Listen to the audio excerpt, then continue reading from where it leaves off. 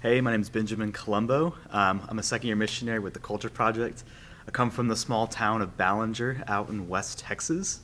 Uh, I came right out of college, and um, yeah, I guess what kind of drew me here to the Culture Project was seeing our culture starving for truth, uh, longing for beauty, and be able to speak into that.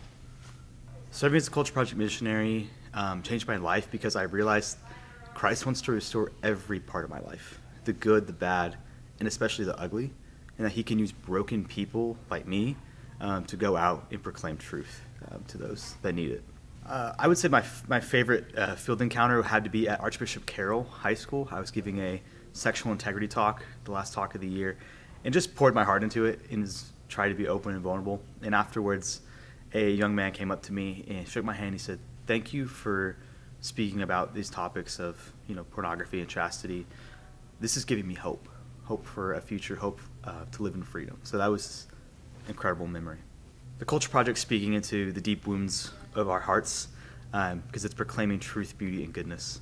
And those places are places that need those healing and needs to be restored.